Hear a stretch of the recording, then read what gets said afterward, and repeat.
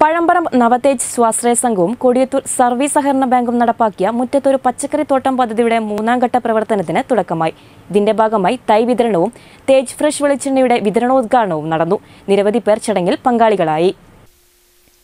പഴമ്പറമ്പ് നവതേജ് സ്വാശ്രയ സംഘവും കൊടിയത്തൂർ സർവീസ് സഹകരണ ബാങ്കും സംയുക്തമായി നടപ്പിലാക്കിയ മുറ്റത്തൊരു പച്ചക്കറി തോട്ടം പദ്ധതിയുടെ ഭാഗമായി മൂന്നാം ഘട്ട തൈ വിതരണവും സംഘത്തിന്റെ പുതിയ സംരംഭമായ തേജ് ഫ്രഷ് വെളിച്ചെണ്ണയുടെ വിതരണോദ്ഘാടനവും പഴമ്പറമ്പിൽ നടന്നു. തേജ് ഫ്രഷ് വെളിച്ചെണ്ണയുടെ വിതരണോദ്ഘാടനം വാർഡ് മെമ്പർ മറിയൻകുട്ടി ഹസനും മുറ്റത്തൊരു പച്ചക്കറിത്തോട്ടം പദ്ധതിയുടെ ഉദ്ഘാടനം കൊടിയത്തൂർ സർവീസ് സഹകരണ ബാങ്ക് മാനേജർ ശ്രീജിത്തും നിർവഹിച്ചു. സംഘത്തിന്റെ മുഴുവൻ മെമ്പർമാരും പ്രവർത്തിക്കുന്ന ഉറപ്പ് നൽകി വിനിയോഗിച്ച് മറ്റൊരു കൃഷിത്തോട്ടം പദ്ധതി.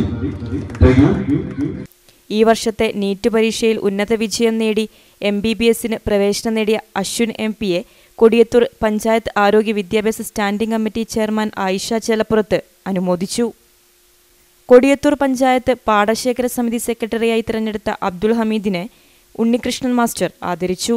സി കൃഷ്ണൻ അധ്യക്ഷത വഹിച്ച ചടങ്ങിൽ ബാബു പുൽക്കുന്നത്ത് കണ്ണൻകുട്ടി മൊട്ടമ്മൽ ബഷീർ കുന്താണിക്കാവ് സിദ്ദിഖ് മാനു സംഘം വൈസ് പ്രസിഡന്റ് രജീഷ് സജീഷ് എന്നിവർ സംസാരിച്ചു.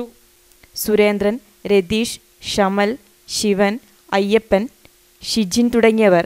ഷിജിൻ തുടങ്ങിയവർ നേതൃത്വം നൽകി. News bureau Mukkam.